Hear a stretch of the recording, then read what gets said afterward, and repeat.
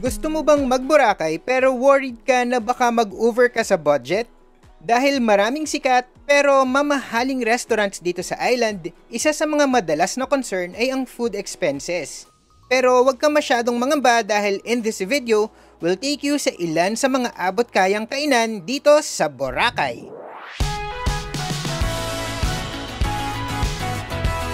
Hey there, poor traveler! We are Vince and Yosh. Bago tayo mag-food trip, baka naman pwedeng humiling ng subscribe dyan and ring the bell na rin para ma-achieve naman natin ang 100,000 subscribers this year.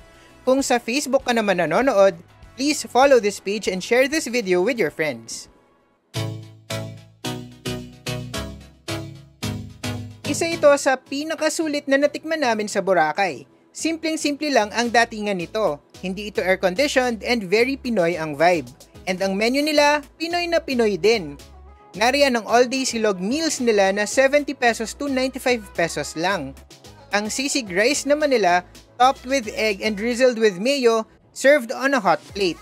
Pero pinaka-signature nila ang kanilang budbud, which is a big heaping of rice crowned with ground meat. Parang rice toppings ganern. Pwede itong pork, beef, all mix, or yung budbud special na 75 to 100 pesos ang order. May kasama din itong 2 thin pieces of fried lumpia. Malasang malasa naman ang karne. It reminded me of yung mga tapsilog na nakasanayan ko nung college na presyong estudyante rin. May dalawang resto sila dito sa island. Meron sa Station 1, pero dito kami napadpad sa mas malaking branch nila sa Station 2. Hindi ito air-conditioned pero punong-puno ng mga customers. It took us quite a while to find an empty seat may paunawa sila na currently understaffed sila pero hindi naman namin nahalata kasi very helpful and polite talaga yung mga waiters and pati na rin yung nasa counter. By the way, ilalagay namin dito sa side ang operating hours and iba pang details at the time of visit. But dahil mabilis mag-change ang mga bagay-bagay ngayong pandemic, ugaliing mag-confirm with the establishment first before umariba.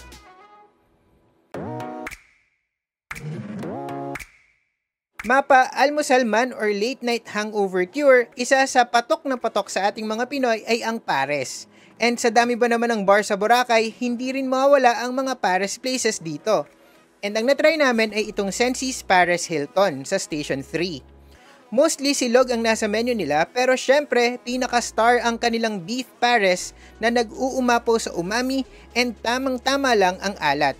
It's probably braised for hours kasi sobrang tender ng karne topped with generous helpings of spring onions and fried garlic and served in a wooden bowl na may kasamang cup of garlic rice. Oh by the way, only rice nga pala dito, kaya't sulit na sulit ang 175 pesos mo.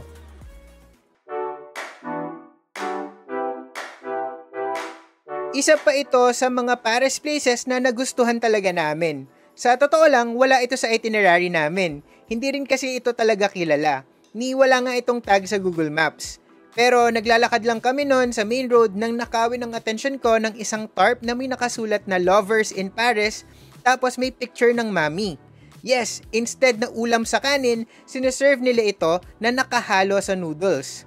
Na-curious ako kaya't ayun, kahit na may iba kaming bala kainan that time, napaupo na lang kami and napa-order. Habang naghihintay, we looked around.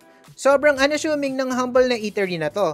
Typical na karinderya talaga ang datingan. Sa menu nila, puro sizzling dishes like sisig and barbecue na 149 ang isa. Pero nang dumating ang order namin, attack talaga kami agad. Aaminin ko na medyo naalatan ako sa unang subo, pero nang pigaan na namin ng kalamansi and lagyan ng chili oil na kasamang sinerve, swak na swak ang magkahalong alat, asim, and anghang. Malaman din ito ha, may mga chunks talaga ng beef and every higop namin ng noodles kasama ang malapot-lapot na sabaw nito. Isa ito sa mga dishes na pinakatumatak sa akin dito sa Boracay. And the best part, 100 pesos lang ang bawat order. Hindi kalayuan from Zap Eatery ay madadaanan nyo naman ang Bon Bon, which is a small outdoor kiosk na madaling malagpasan kasi maliit lang talaga. Para siyang food truck style ganern. They whip out quite a variety of East Asian and Southeast Asian favorites, from handmade dumplings to rice meals. Pero ang best sellers daw nila ay ang kanilang sati rice meal na 175 pesos And ang pinakamurang item sa menu, ang chicken satay bun and pork char siu bun ay 135 to 145 pesos lang. So yun yung in-order namin.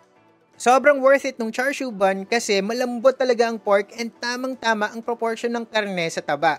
Mas napasarap pa ito ng sweet and salty sauce, pickled cabbage, and garlic. Itong chicken satay rice din nila ayaw magpatalo.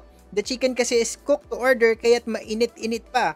And ang saya ng combination ng rich peanut sauce and ng asim ng pickled carrots and cabbage.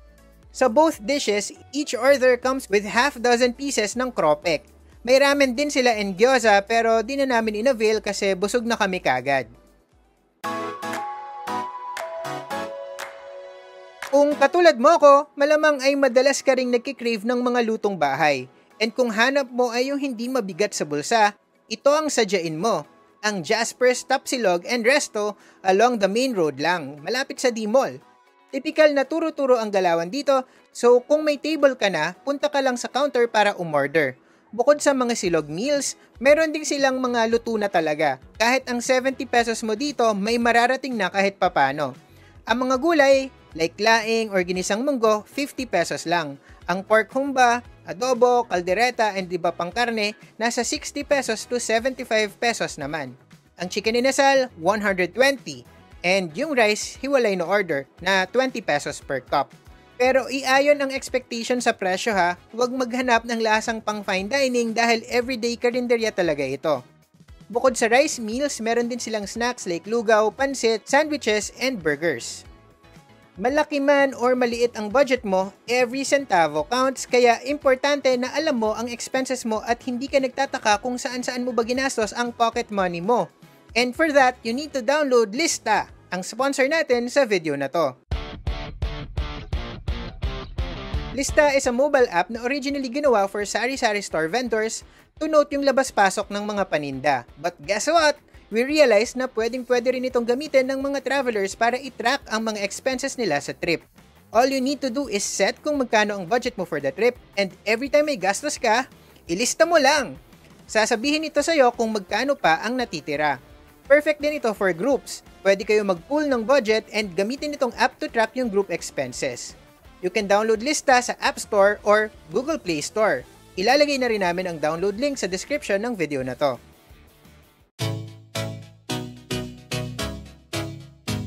Isa pang hindi namin pinapalagpas kahit sa ang destination ay ang street food, lalo na yung mga ihaw-ihaw. And dito sa Boracay, pinakasikat ang Merlis Barbecue. Isa itong maliit lang na barbecue stand sa isang corner ng Station 1 pero it's widely regarded as the home of the original Chori Burger. Oo, yung sikat na sikat na Chori Burger ng Boracay ay dito raw nagsimula.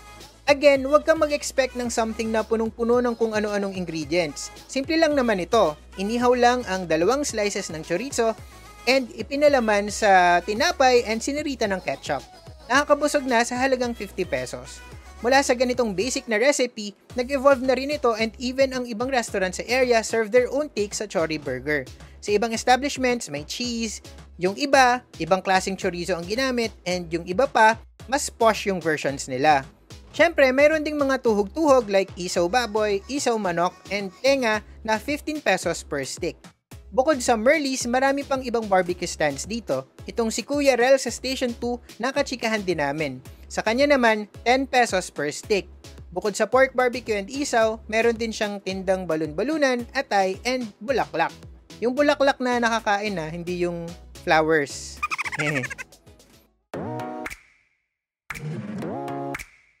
Siyempre, hindi makukumpleto ang listahang ito kung hindi may isasama ang undocs.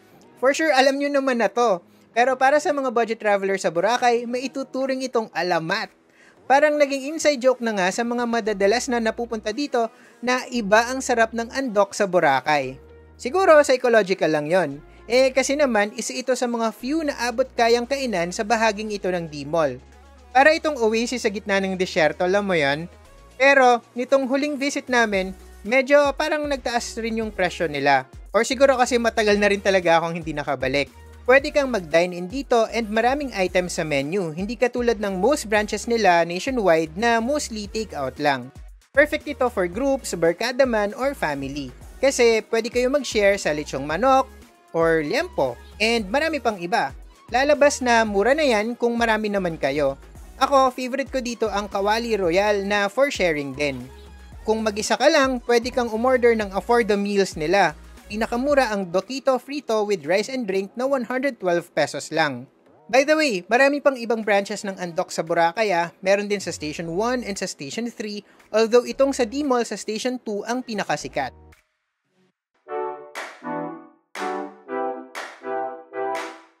Wait lang, bago ka mag-react na, ano ba yan, nasa Boracay na nga, fast food pa rin? Hindi namin kayo hinihikayat mag-fast food dito ha, pero kung naghahanap ka niyan, whether craving mo lang or gusto mo i-introduce sa a fam friend mo, we're just sharing na kung ito yung trip mo for whatever reason, marami rin naman kayong options. Nariyan ang Jollibee, McDo, Chowking, KFC, and Mang Inasal. Most of them ay nasa Station 2 malapit sa D-Mall.